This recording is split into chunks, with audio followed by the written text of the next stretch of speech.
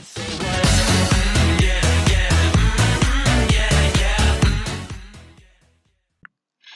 Hello children ये जो video है ये जो क्रैश कोर्स का जो सीरीज़ है उसको कंटिन्यू करते हुए ये जो टॉपिक है हमारा the market as a social institution इसका हम लोग आज क्रैश कोर्स करने वाले हैं। ये क्रैश कोर्स स्पेशली जो बच्चे जो पूरा सब्जेक्ट पूरा जो लेसन है वो पढ़ चुके हैं अच्छे से और अगर उसको रिवाइज करना चाहते हैं तो उनके लिए ये बहुत अच्छा है। या फिर जो बच्चे किसी कारण से अगर वो आ, पढ़ाई नहीं कर पाए हो और वो अगर इसको रेफर करना चाहते हैं तो इससे इनके जितने भी इंपॉर्टेंट टॉपिक्स हैं वो एक ही बार में कवर हो जाएँगे।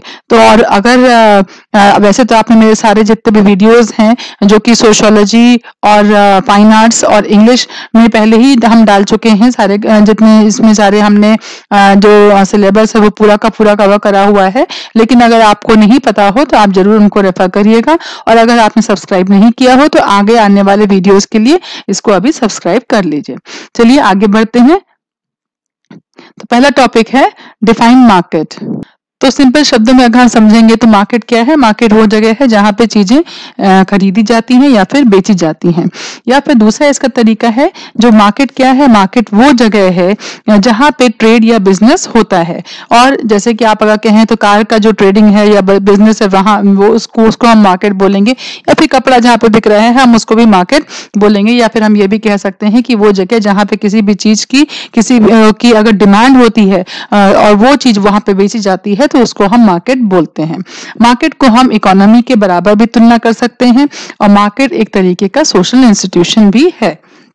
अब इस टॉपिक में एक दूसरी चीज़ आती है जिसका नाम है इनविजिबल हैंड और ये जो टर्म है इनविजिबल हैंड ये बहुत ही इंपॉर्टेंट टर्म इस टॉपिक में एग्जामिनेशन पॉइंट ऑफ़ व्यू से भी है।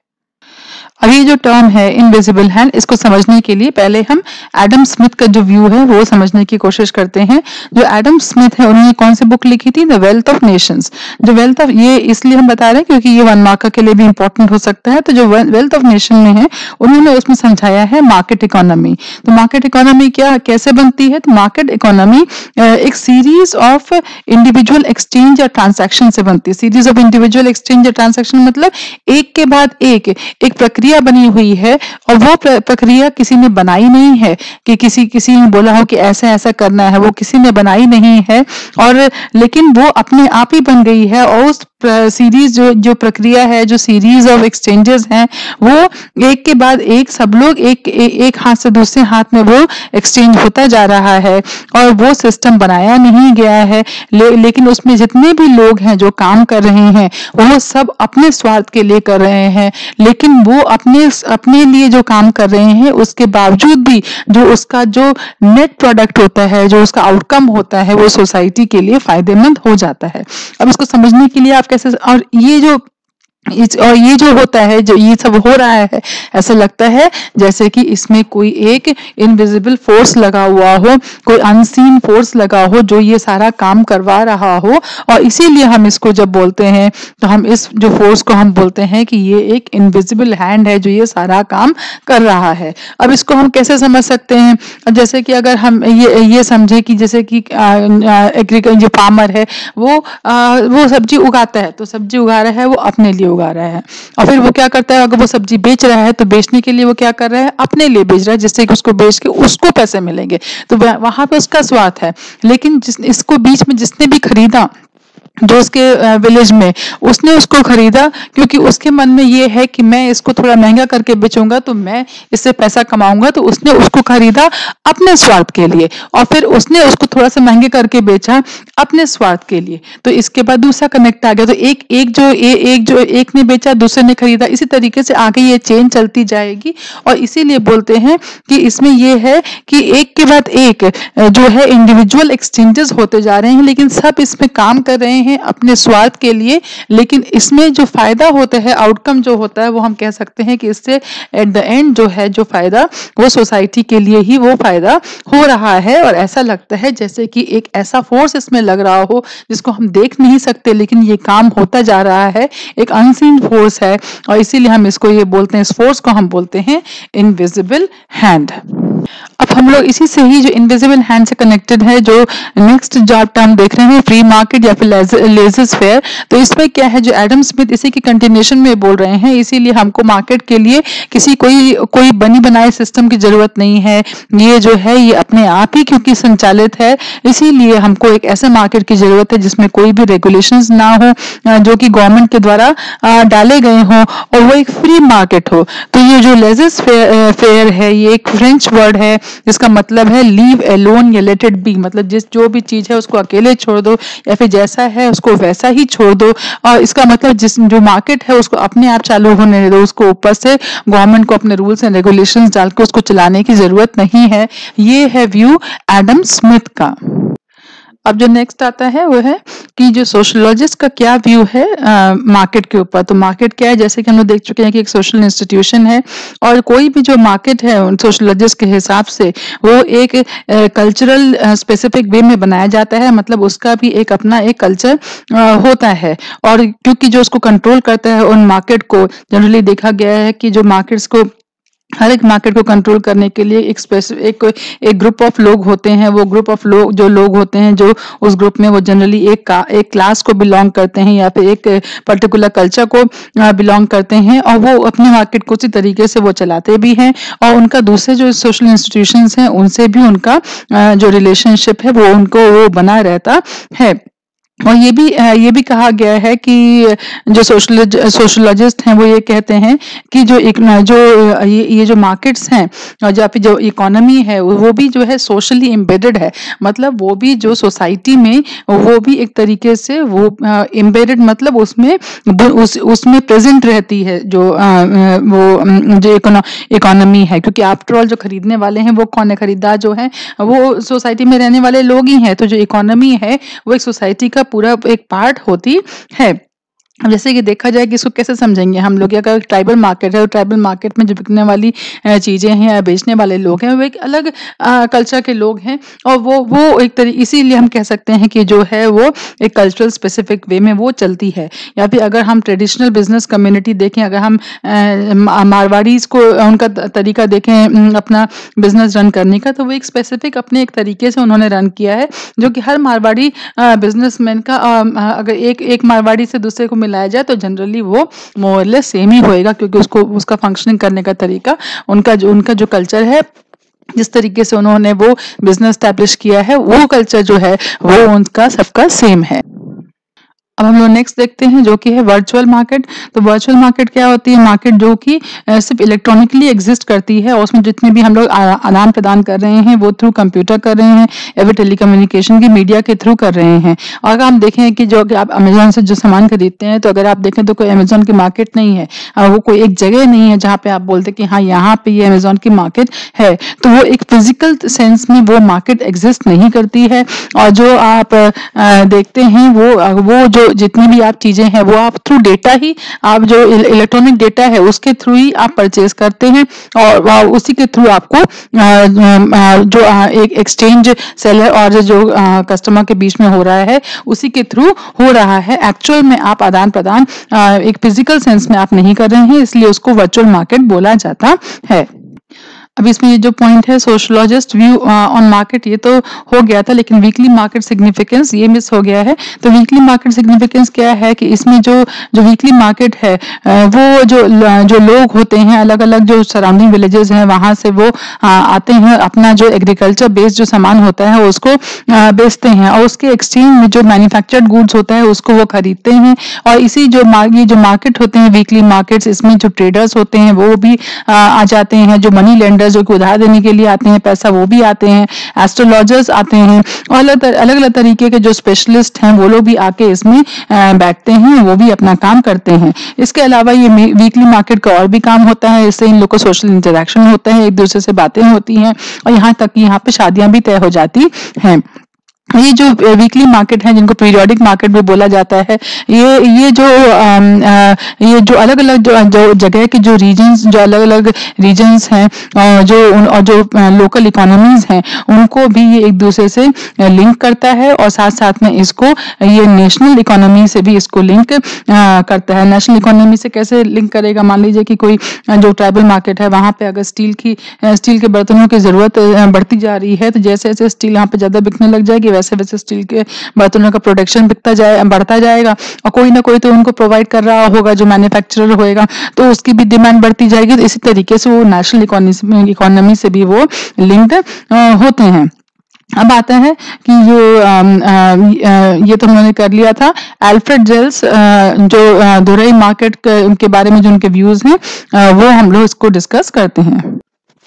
जो अल्फ्रेड जेल्स हैं उन, उन्होंने जो दोरे मार्केट का दोरे जो एग्जांपल दिया है उन्होंने उसमें ये बताया है कि इस मार्केट में भी आप जो है जो हायरार्कियल इंटरग्रुप सोशल रिलेशनशिप आप इसमें देख सकते हैं। मतलब इसमें जो जो आप जो कास्ट का जो हायरार्की होती है वो इस मार्केटों में भी देखी जाती है।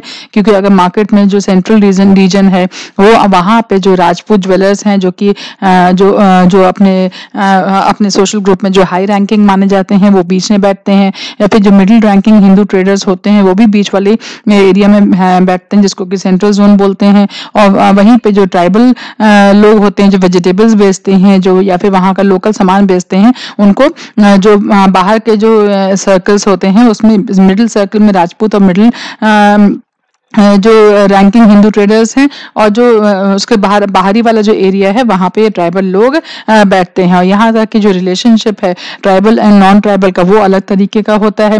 और जो हिंदू, हिंदुओं का जो अपना, अपने कम्युनिटी के साथ है, वो अलग तरीके का होता है। मतलब इसमें इन सब रिलेशनशिप में जो जो हायरार्की है, वो मेंटेन करी जाती है। और कास्ट एंड क्लास का भी ध्यान रख के उनके साथ रिलेशनशिप मेंटेन किया जाता है। यहाँ तक कि मार्केट मार्केट्स में भी ये देखा जाता है। अब एक पॉइंट छूट एक और छूट गया था वो हम बताना चाहते हैं कि कैसे जो ट्राइबल एरिया है वो जो वी, जो वीकली मार्केट्स हैं वो कॉलोनियल इन्फ्लुएंस के बाद कैसे बदल गए कि उसमें जब जब वो आए तो जो उनका इलाका था वहाँ पे रोड्स बनने लग गई वहाँ पे लोग आने लग गए जैसे जैसे लोग आने लग गए ट्राइबल इलाके में वैसे ही इनके जो फॉरेस्ट थे उसको एक्सप्लाइटेशन उसका शुरू हो गया वहाँ पे जो मिनरल्स थे उसका एक्सप्लाइटेशन शुरू हो गया।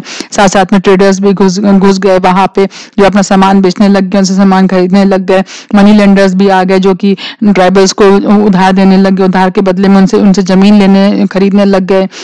और नॉन ट्राइबल लोग भी वहाँ पे आ गए वहाँ पे रहने लग गए, जो कि उनके जो कल्चर को भी इन्फ्लुएंस करने लग गए, और जो इसके इसके कारण जो फॉरेस्ट का जो सामान था वो भी वो भी बिकने लग गया, और जो इकोनॉमी जो थी वो उनकी जो उसमें बदलाव आ गया। पहले जो ट्राइबल्स थे वो अपने अपने एरिया में रहते थे वो अपना सामान बाहर लोगों को, दूसरे लोगों को भी बेचने लग गए, और अलग अलग तरीके का सामान जो था, जो अभी तक उनको वो नहीं खरीदते थे, वो भी वो लोग खरीदने लग गए। और जितने भी ट्राइबल लेबर्स थे जनरली वो जो लेबर की तरह या फिर माइंस में वो काम भी करने लग गए। तो इस तरीके से जो ट्राइबल इकोनॉमी थी, जो वाइडर इकोनॉमी से वो लिंक हो गई, लेकिन इसमें कह सकते हैं कि कहीं ना कहीं जो ट्राइबल लोग थे, उनका नुकसान भी हो गया।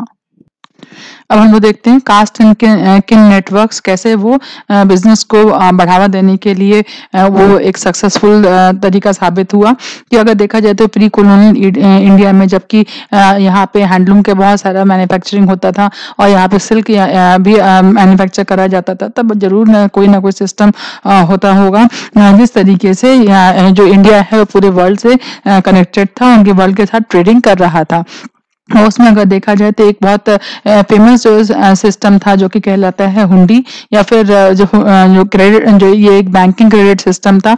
हुंडी सिस्टम कैसे चलता था? मान लो कि अगर हम यहाँ पे हम हम यहाँ पे एक ट्रेडिंग करते हैं और हमको कोई सामान अगर यूरोप से मंगवाना है तो हमारा हमारा जो, हमारे जो सेटिंग होती थी वहाँ पे लोगों से पहले ही वहाँ पे हमारी एक तालमेल बैठ जाती थी और अगर हम यहाँ पे लिख के देते, कि देते अपनी बिल नोट देते थे कि जो हमारा आदमी जा रहा है आपके पास इसको आप इतने इतने रुपए का सामान दे दीजिएगा।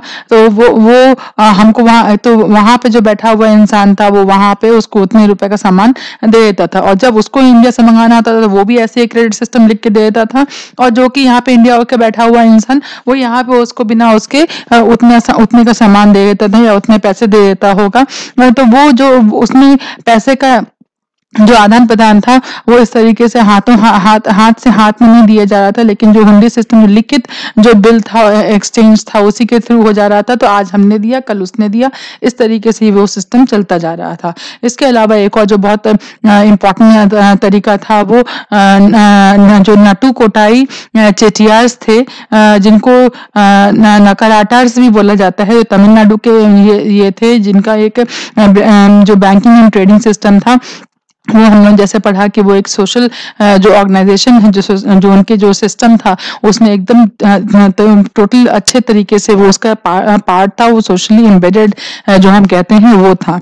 अब उसमें क्या था कि जो जो जो का जो तरीका कास्ट या किनशिप या फैमिली में फॉलो करा जाता है, वही इनके जो कॉमर्शियल जो एक्टिविटी थी, जो बिज़नेस एक्टिविटी था, उसमें भी वही वही स्ट्रक्चर वो फॉलो करा जाता था। तो और साथ साथ में क्योंकि ये फैमिली बिज़नेस था, इसलिए इसमें जो फैमिली का जो हेड होता था, वही इनके जो कॉमर्शियल एक्टिविटी या ट्रेडिंग का जो हेड होता था, वही वैसे ही हेड होता था और उसी तरीके से वही हर की फॉलो करी जाती थी। और ये जो सिस्टम था, ये बहुत ही कास्ट बेस्ड सोशल नेटवर्क था, ये एक तरीके से इनका बैंकिंग सिस्टम था, और इसमें ये सब अपने ही जो लोग फैमिली के जो लोग थे उन लोगों को वो आ, वो, आ, वो बैंकिंग सिस्टम में वो आदान प्रदान करने के लिए या फिर उसमें से पैसा लेने के लिए उससे अपना बिज़नेस बढ़ाने के लिए वही लोग उसमें हकदार थे। और इसी तरीके से उन्होंने साउथ ईस्ट एशिया में और सीलोन में इन्होंने अपना बिज़नेस बढ़ाया था। इसके अलावा जो ट्रेडिशनल बिज़नेस कम्युनिटीज हैं जो कि वैश्यास पारसीज सिंधीज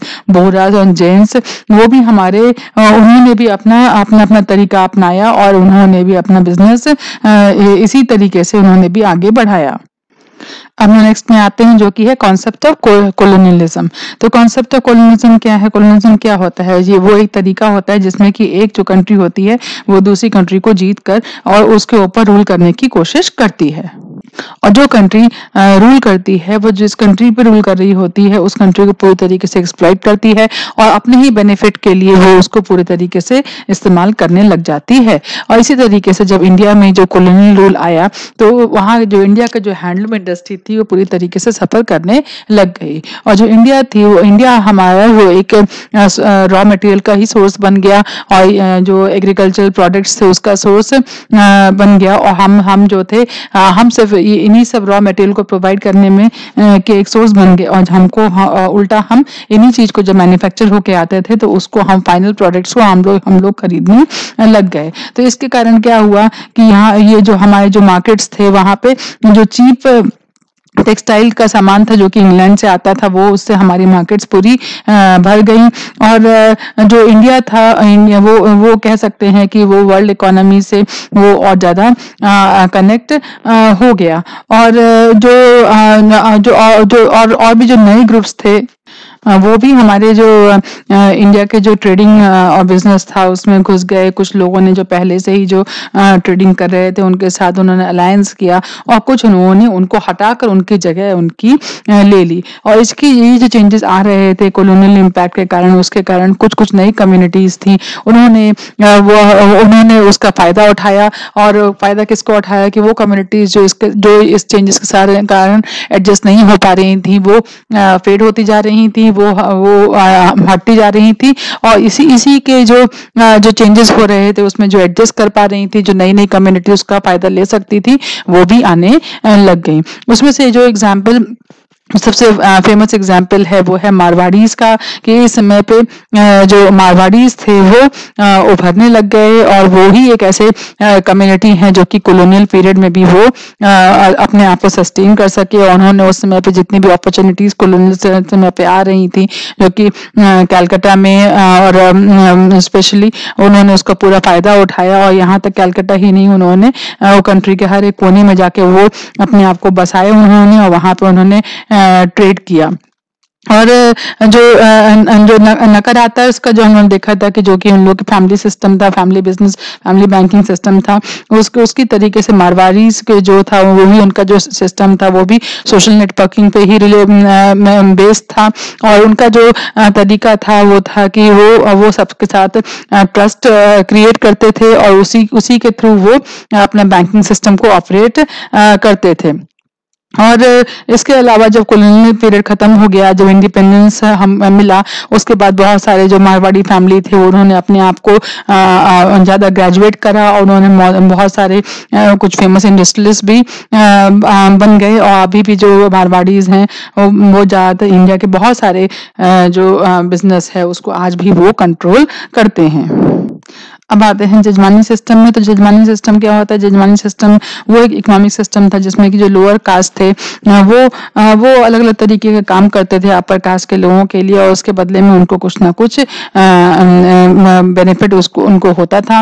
और ये तरीके से एक हेरिडिटरी रिलेशनशिप था जो एक जनरेशन से दूसरे जनरेशन पास होता रहता था। और, और, और इसके कारण ये जो रिलेशनशिप था एक तरीके का परमानेंट हो गया था और जिसमें कि दोनों ही पार्ट जो कि अपर कास्ट और लोअर कास्ट दोनों ही एक दूसरे के ऊपर डिपेंडेंट हो गए थे और वो एक दूसरे के एक दूसरे की दोनों को ही ज़रूरत हो गई थी।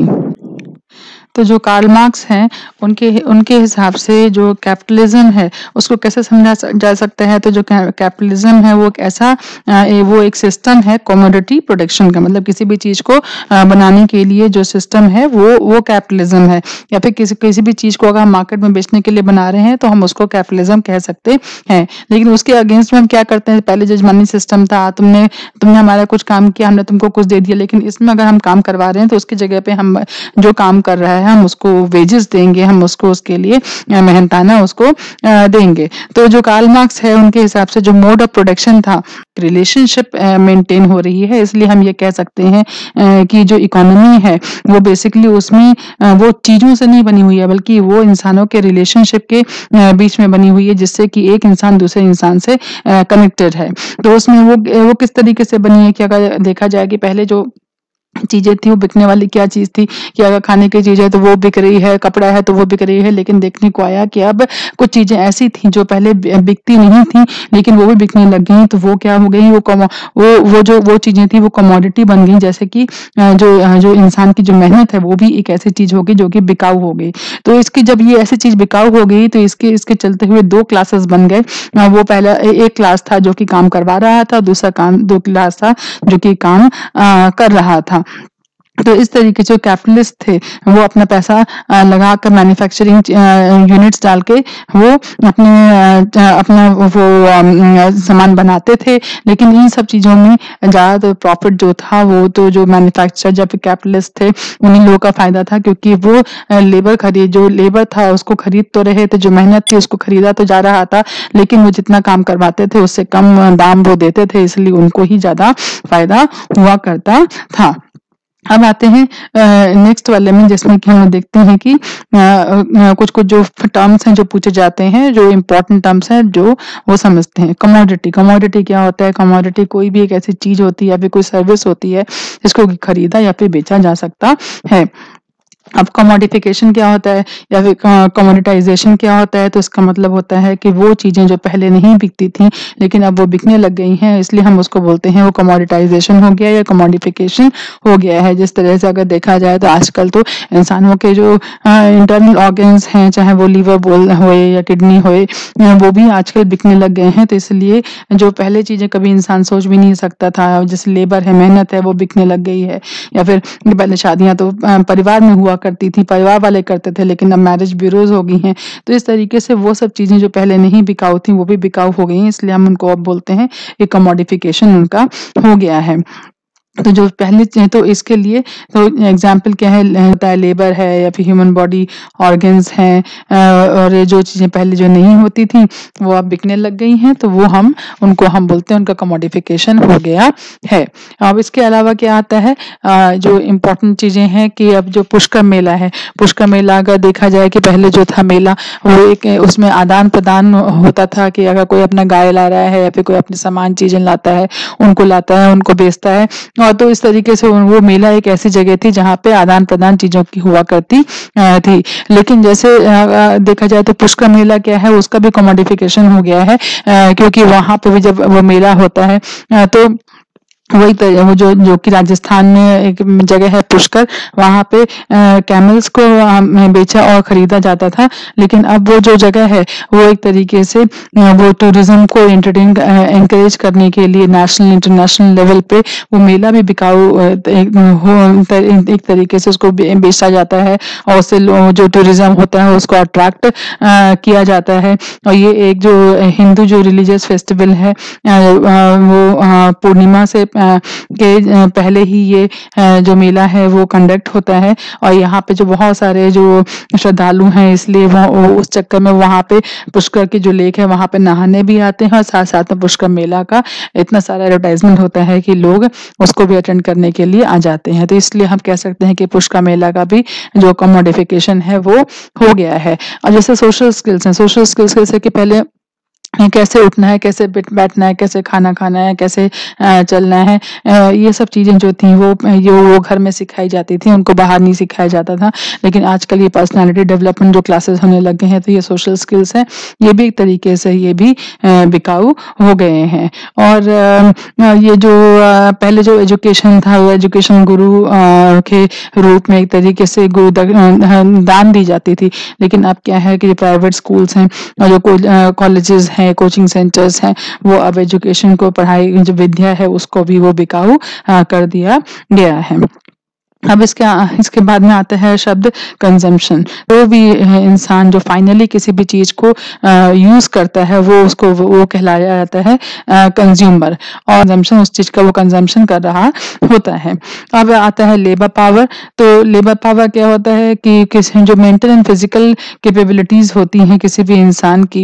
एंड वो वो वो जो प्रोडक्शन करने के लिए जिसको यूज़ करा जाता है, चाहे वो मेंटल स्किल हो, चाहे वो जो जो लेबर पावर हो, वो चीज़ हो, उसको यूज़ करे तो उसको हम बोलेंगे लेबर पावर तो अगर वर्कर भी है, वो भी लेबर पावर दे रहा है, और कोई अगर दिमाग लगा के अगर प्रोडक्शन इंक्रीज करने की कोशिश कर रहा है तो वो भी एक तरीके से मेंटल लेबर वो कर रहा है। स्टेटस सिंबल तो जो स्टेटस सिंबल है तो उसका क्या है कि जो इंसान जो चीज़ें खरीदता है वो उसके स्टेटस से, वो उसको स्टेटस को सिग्निफाई करते हैं। मतलब आप किस तरीके का सेलफोन यूज़ कर रहे हैं, या फिर कौन सा कार यूज़ कर रहे हैं, वो आपके स्टेटस को रिप्रेजेंट करता है। जैसे कि तो वो एक मिडिल क्लास लोग जिस तरह का अगर कोई सेलफोन खरीदते हैं या फिर किसी भी कार को खरीदते हैं तो वो उनका सोशल इकोनॉमिक सिस्टम दिखाता है। वहीं पे अगर कोई हाई स्टेटस वाला हो तो उसका जो मोबाइल है, उसका जो कार है, वो अलग हो जाता है।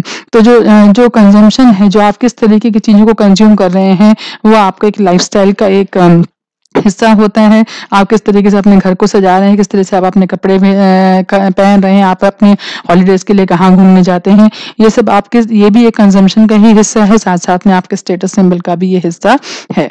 इसके बाद आता है शब्द ग्लोबलाइजेशन तो तो इसमें जो है, अगर देखा जाए तो जो इंडिया की पहले जो पॉलिसी होती थी, उसमें जो सब कुछ ज़्यादातर गवर्नमेंट द्वारा गवर्न होता था, लेकिन जब इंडिया ने अपनी जो पॉलिसी उसको हटाकर उन्होंने लिबरलाइजेशन की तरफ़ वो बढ़ गए, तब जो ग्लोबलाइजेशन का जो असर था वो देखने को मिल गया। और जो ग्लोबलाइजेशन है, उसके कारण इंडिया ही नहीं, जो वर्ल्ड है, वो एक दूसरे से ज़्यादा से ज़्यादा इंटरकनेक्टेड होते जा रहे हैं। और इंटरकनेक्शन सिर्फ़ इकोनॉमिक लेवल पे ही नहीं, हम देखें तो कल्चर लेवल पे और पॉलिटिकल लेवल पे भी इंटरकनेक्शन होता जा रहा है। मतलब अगर हमारे यहाँ पे कौन सा नेता चुना जा रहा है, उससे उससे फॉरेन कंट्रीज़ में भी असर होता है या फिर अगर यूएसए में कौन सा नेता चुना जा रहा है, उससे हमारे यहाँ पे फ़र्क होता है या फिर हमारा कल्चर हाँ दूसरी कंट्रीज़ को हम इन्फ्लुएंस कर सकते हैं या फिर दूसरी कंट्रीज़ का कल्चर से हम भी इन्फ्लुएंस हो सकते हैं तो ये सब जो है, वो वो ग्लोबलाइजेशन का ही पार्ट है।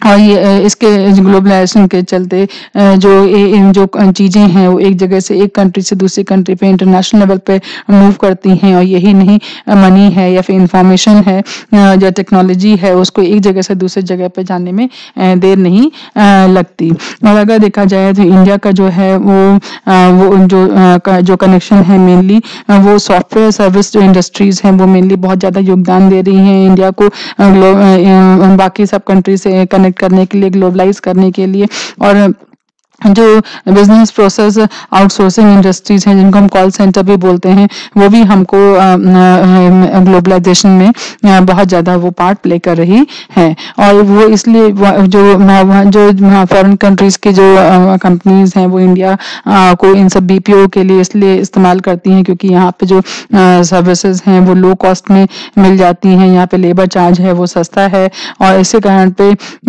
जो यहाँ पे जो बीपीओज हैं, ज़्यादा से ज़्यादा खोले जाते हैं और इस और जो और इसके हम ये कह सकते हैं कि जो इंडिया है, वो एक ग्लोबल मार्केट बन गया है इंडियन सॉफ्टवेयर लेबर के के लिए और अदर सर्विसेज़ के लिए भी। अब है मार्केटाइजेशन तो मार्केटाइजेशन क्या होता है कि जब भी हम मार्केट का इस्तेमाल करते हैं या फिर मार्केट में आ, को, का कोई भी एक कोई प्रोसेस को अगर हम सोशल पॉलिटिकल इकोनॉमिक प्रॉब्लम्स को सॉल्व करने के लिए अगर हम इस्तेमाल करते हैं तो हम उसको बोलते हैं मार्केटाइजेशन लिबरलाइजेशन क्या होता है? लिबरलाइजेशन वो तरीका होता है जिसमें कि जो स्टेट का जो कंट्रोल होता है इकोनॉमिक एक्टिविटी के ऊपर वो कम होता जाता रहता है। और जो हमने पहले जो पढ़ा था, जो मार्केट फोर्सेस होते हैं वो वो ही वो डिसीज़न लेते हैं और जो जितने भी जो जो गवर्नेंस होता है गवर्नमेंट का वो कम कर दिया जाता है। अब इसके जो लिबरलाइजेशन है, इसके फ़ायदे भी हैं, उसके नुकसान भी हैं।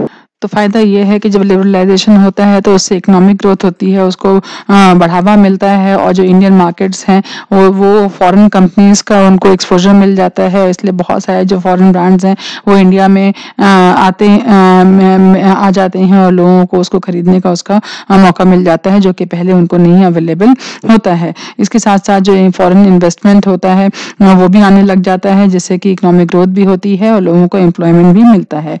लेकिन इसका डिसएडवांटेज ये होता है कि बहुत सारे सेक्टर्स हैं उनको तो जैसे कि अगर हम बोले सॉफ्टवेयर है या फिर इंफॉर्मेशन टेक्नोलॉजी है या फिर एग्रीकल्चर है तो उसमें कई सेक्टर्स को तो इसमें बेनिफिट मिल जाता है, लेकिन जो कई सेक्टर्स होते हैं जो कि अगर हम कह सकते हैं कि ऑटोमोबाइल को देख लो या फिर इलेक्ट्रॉनिक्स को देख लो या फिर ऑयल सीड्स में, वो सब जो है वो इतने तरीके से उसको कंपटीशन जो फॉरेन गुड्स होता है उनको, उनसे कॉम्पीट नहीं कर पाते हैं। और अगर इंडियन फार्मर्स ही देख लें तो वो उन लोगों को अब जो फॉरेन के जो सामान आता है, जो फॉरेन के एप्पल्स होते हैं वो उनसे, वो उस फॉर एग्जांपल उस तरीके की चीज़ों को बनाने के लिए उनको उनका कंपटीशन करना पड़ता है।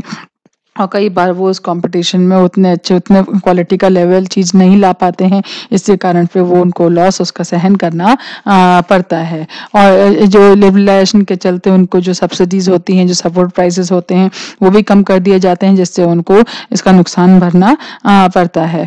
और जो जो स्मॉल मैन्युफैक्चरर्स थे, जो बहुत बड़े बड़े प्लेयर्स नहीं होते हैं, वो जो ग्लोबल कॉम्पिटिशन है, और जो वहाँ के जो फॉरन गुड्स एंड ब्रांड्स आ रहे होते हैं, उसके लेवल पर क्वालिटी नहीं प्रोवाइड कर पाते हैं, इसलिए इसलिए वो भी कहीं ना कहीं उनको भी अपने बिज़नेस में धक्का लगता है। और जो जो जैसे जैसे प्राइवेटाइजेशन होता है, वैसे ही पब्लिक सेक्टर इंडस्ट्रीज़ होती हैं, वो वो ज़्यादा नहीं, खुलती नहीं और जितनी होती हैं वो भी धीरे धीरे बंद हो जाती हैं। जिससे कि जो अनऑर्गेनाइज सेक्टर होता है, उसको बढ़ावा मिल जाता है। और जो एम्प्लॉयमेंट होता है वो अनऑर्गेनाइज सेक्टर में ज़्यादा मिलता है अब ऑर्गेनाइज सेक्टर में कम मिलता है जिसके कारण जो वर्कर्स होते हैं उनको ज़्यादा नुकसान सहना पड़ता है। अब इसके अलावा आता है अभी हमने जब वर्ड पढ़ा कि सपोर्ट प्राइस और सब्सिडी नहीं मिलती है तो सब सपोर्ट प्राइस क्या होता है? तो जो सपोर्ट प्राइस और सब्सिडी में कई बार डिफरेंस पूछा जाता है तो इसमें यह है कि जो जो गवर्नमेंट है वो जो वो वो एक एक एक, एक, एक कीमत तय करती है हर चीज़ की कि मैं आपकी ये ये फार्मर्स के लिए कि मैं आपका सामान इस इस, इस कीमत में मैं खरीदूँगा। तो वो जो प्राइस है जो कि गवर्नमेंट जो सेट करती है जो एग्रीकल्चर का सामान खरीदने के लिए जिससे कि जो फार्मर्स हैं उनको मिनिमम इनकम तो मिले जो कि आप सुन रहे होंगे आजकल जो कि एमएसपी है तो वो सब क्या है सपोर्ट प्राइस है मिनिमम सपोर्ट प्राइस लेकिन जो सब्सिडी है वो क्या है अगर कोई फार्म का, जो एग्रीकल्चर करने के कोई इंस्ट्रूमेंट्स हैं, या फिर फर्टिलाइजर्स हैं, या फिर पेस्टिसाइड्स हैं, उन सबको जो गवर्नमेंट है, उनकी जो कीमत होती है, मान लीजिए वो दस रुपए के हैं गवर्नमेंट फार्मर को ये बोले कि नहीं, हम आपको ये आठ रुपए में या पाँच रुपए में प्रोवाइड करेंगे, और जो उसका जो जो बाकी जो, उसकी जो डिफरेंशियल पेमेंट होती है मतलब दस रुपए की जगह पाँच रुपए में दे रहे हैं तो पाँच रुपए गवर्नमेंट खुद अपनी तरफ़ से देती है तो वो उसको मतलब तरीके से कंसेशन दे रहे हैं तो वो कहलाया जाता है सब्सिडी देना। तो इस तरीके से ये जो चैप्टर है, ये ख़त्म होता है। और अगर आपको ये पसंद आया हो तो ज़रूर अपने दोस्तों को, अपने फ्रेंड्स को, अपने जूनियर्स को रिकमेंड करिए और इस चैनल को आगे बढ़ाने के लिए जितनी मेरी मदद कर सकते हैं प्लीज़ इसको करिए। और अगर अभी तक भी आपने इसको सब्सक्राइब ना करा हो तो इसको ज़रूर अभी अभी इसको सब्सक्राइब करिए। Thank you so much best of luck